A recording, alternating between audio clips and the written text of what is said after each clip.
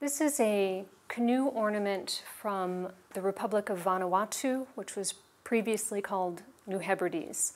It's about 100 years old. This would have been placed at the front or the prow of a canoe, connected by rope to the front. Essentially, this would then be the lead of the canoe. It's at the front of the canoe. Canoes were extremely important items in Vanuatu. Uh, they were symbols of wealth and prestige, so you had to be a leader or a wealthy man to be able to afford to have a canoe.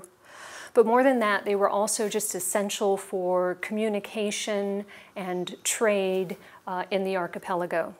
This canoe prow features the form of a frigate bird. You can see the large open bill and a swooping neck. Essentially, then the canoe became the body of the bird. So the occupants of the canoe were kind of enveloped and protected within the frigate bird. On top of the frigate bird is a shark form. Sharks, as we all know from this culture, many species of sharks are very ferocious and very aggressive creatures. These would have been powers that a canoe leader, a canoe captain, and navigator would want to tap into because he would be responsible for making sure that canoe was protected and all the inhabitants in the canoe. So those aggressive creatures you, you tap into and translate into human power. Frigate birds are also aggressive. We don't tend to think of birds as being very aggressive, but they are. In fact, that's why we name some of our warships frigates.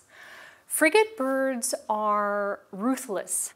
They are seabirds, and the way they get food is they bully and they attack other seabirds.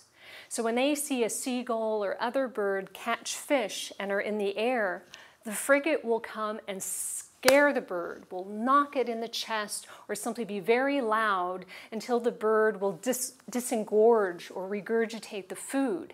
And then the frigate will swoop and pick up the food before it hits the ground. So again, very, very aggressive qualities, very much warrior qualities.